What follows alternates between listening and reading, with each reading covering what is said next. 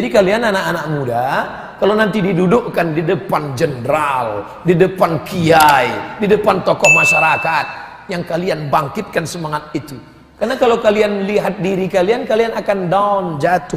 Berikut ini kata sambutan dari Presiden BEM. Bapak-bapak, ibu.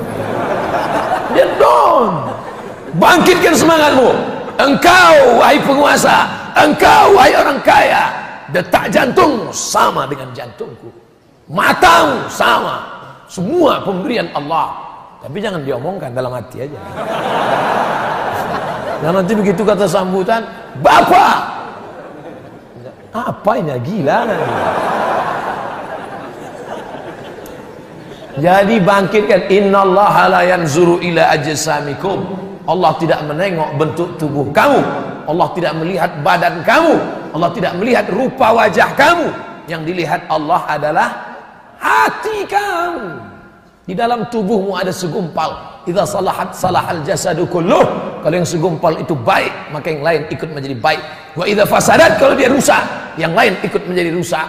Itulah yang dipandang Allah, letak iman, letak marah, letak cinta, letak suka, letak duka. Kalau nampak laki-laki sedang termenung, sedih, gimana letak sedihnya?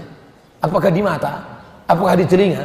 Tidak, sedih itu ada di dalam. Itu yang mesti kau bangkitkan. Itu yang tidak bisa dibangkitkan oleh motivator.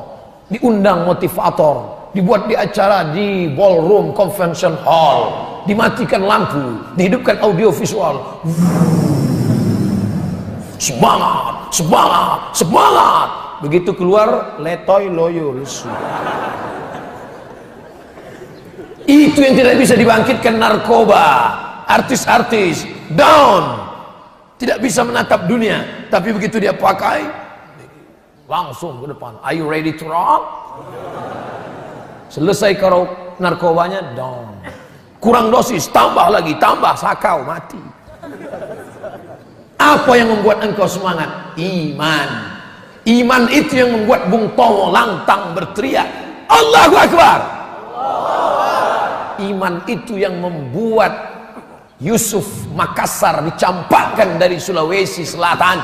Bukan tanggung-tanggung nun jauh di sana. Di kampungnya Nelson Mandela di Cape Town Afrika Selatan dibuang oleh Belanda. Tidak berduka malah dibangunnya masjid besar di sana yang dibantu oleh Presiden Republik Indonesia tegak berdiri di Afrika Selatan. Apa maknanya? Iman tidak membuat engkau berduka. Pujian tidak membuat melambung. Hinaan tidak membuat murung. Kalau pujian membuat engkau cerah tiba-tiba hinaan membuat engkau down berarti engkau belum beriman. Tidak ada beda di dalam pandangan matamu between lovers and haters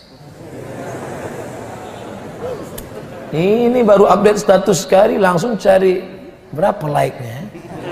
Yang gini berapa yang gini berapa. Tidak usah pedulikan itu. Karena engkau beramal bismillahi tawakkaltu ala Allah la haula wala quwata illa billah.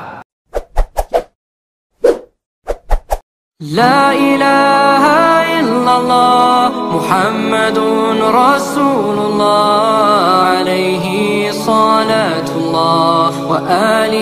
والأحبة.